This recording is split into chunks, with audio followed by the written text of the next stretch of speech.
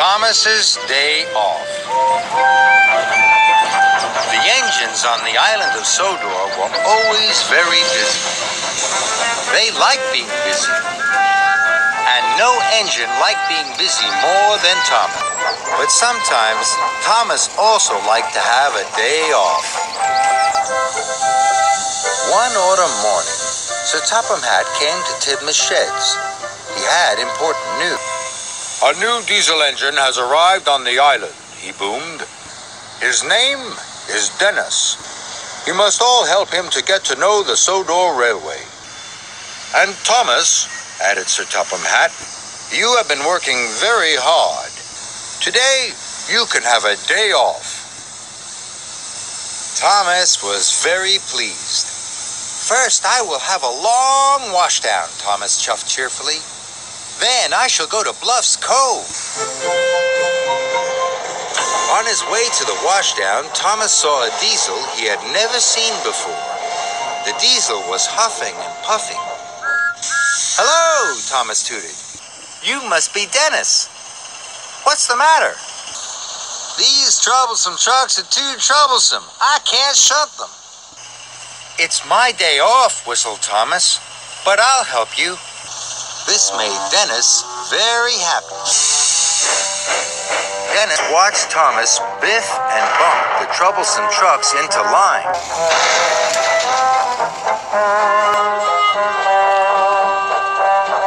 All done, puffed Thomas. It was hard work, and he was tired. Thank you, Thomas, oiled Dennis, and he watched Thomas chuff away. Soon, Thomas was covered in bubbles. Shiny and bright, shiny and bright. That's what I'll be to start my day right, he chirped cheerfully. Dennis wasn't cheerful. Dennis was lazy. He didn't want to deliver his freight cars of tiles. Then he saw Thomas. Dennis had an idea. He would ask Thomas to help him again. Help! Dennis called weakly.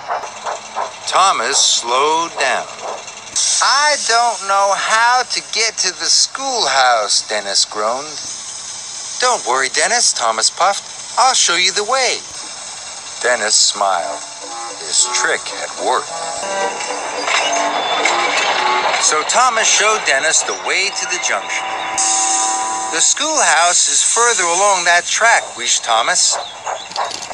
Dennis watched Thomas puff away. Dennis had wanted Thomas to take his freight cars for him. Suddenly, Dennis had another idea. He blasted his horn again. Then again. Thomas heard the noise. He was worried. Dennis watched Thomas come back. His new trick had worked. Now Dennis would pretend to have something wrong with him. Help, Dennis cried. I'm overheated. You'll have to shunt those freight cars for me. Thomas knew it was his day off, but he still wanted to help. Don't worry, puffed Thomas. I'll find another engine to help on my way to Bluffs Cove. Dennis was cross. He wanted Thomas to shunt his freight cars. Dennis decided to leave his freight cars. Then another engine will have to take them, he thought. So Dennis raced away. He didn't care about the tires. He didn't care about Thomas. All he cared about was getting far away from his work. His wheels were spinning faster and faster. Then there was trouble. Help, called Dennis. Help! Help! But this time, there was no one there to help. Thomas arrived at a signal. Percy had some important news. The workmen are waiting for Dennis to bring the tiles to repair the school roof. The children can't go to school until it's mended. And no one knows where Dennis is, Percy added. I do, wheezed Thomas. He's broken down. I must go back to help him right away. Thomas quickly found Dennis. Thomas was very surprised.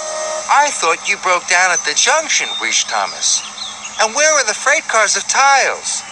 Dennis looked very shamefaced. I tricked you, said Dennis quietly. There was nothing wrong with me at the junction. I just didn't want to pull those heavy freight cars. I'm a really lazy engine, moaned Dennis. Dennis's wheels wobbled and his diesel oil dripped. Now Thomas could see that Dennis really was in trouble. So Thomas decided to help one more time. I'll pull you back onto the tracks, Thomas puffed. Then I'll be your back engine. That way we'll get the tiles to the schoolhouse in double quick time. Dennis smiled his biggest smile ever.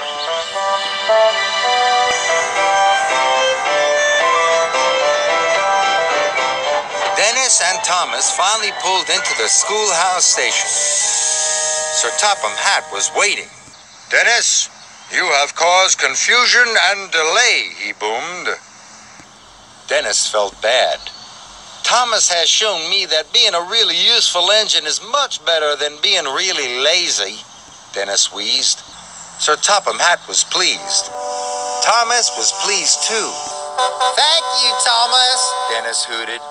From, from now on, I will try to be a really useful engine.